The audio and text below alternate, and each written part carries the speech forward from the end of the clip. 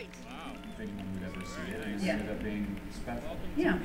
Um, uh, so I thought I would just kind of start at the beginning and, and sort of talk about your family a little bit.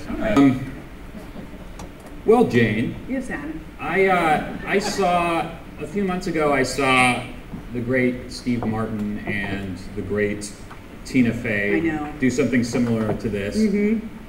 and uh, They were really good. they were great. Yeah. Um, and so Mr. Martin had a terrific opening question, and so um, for the sake of tradition and lack of ideas, I thought I would just kind of open with a similar, with similar question Okay. for you, um, which is, uh, in how many ways would you say that your, I don't know, your work and your life uh, has been improved since working with me? You can just take all the time you need. Um, well, I, I, uh, I will say that when I started working with you, I started smoking again, Uh huh. Okay. Sure. which was, which was a, uh positive. But that's also Lizzy Caplan's And fault, Lizzy, right? yeah, Lizzy Caplan's fault as well. And, um, and I will say that when I stopped working with you, I quit smoking. Excellent. Um, and, uh, you know, uh, uh, on a serious note, I had a blast working Oh, with yeah.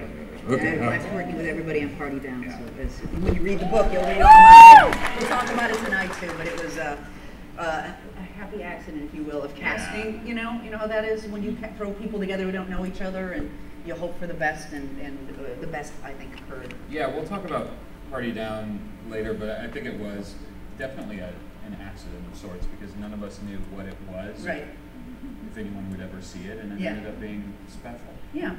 Um, uh, so I thought I would just kind of start at the beginning and, and sort of talk about your family a little bit. I- I'm from an Irish Catholic family on the south side of Chicago, and my parents um, did that big manifest destiny from the city to the south suburbs, and they bought a house for like nineteen thousand dollars. Right. Um, uh, you know, it was the drinking culture. I was born Yeah. in 1960, so everybody was doing the Mad Men thing and Yeah. um, having cocktail parties and. Uh, uh, singing, and my parents loved musicals, and so you know, I, I mean, any of the anxiety and any of the problems I've had in my life had nothing to do with my family. Sure. All my fault. Sure. well, you called your dad a classic Irish cut up. Yes. What What would you say that that?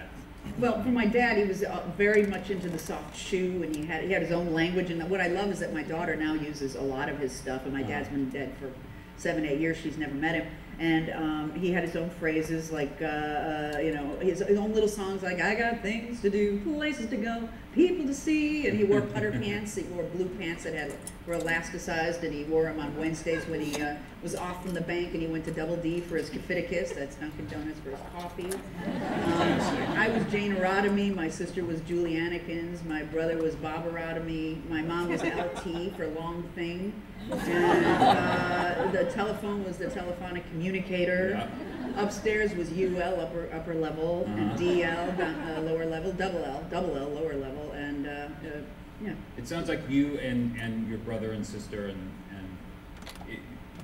you always wanted to crack your dad up. Yes. You were gaining traction. Yes, we, one of the things that I learned in my family, which has just kept me in good stead, is being the butt of the joke is actually a badge of honor. Uh-huh. You know, we would find the weakness in each other and we would go after it, and no Sure. one laughed harder than the person being ripped apart. Right.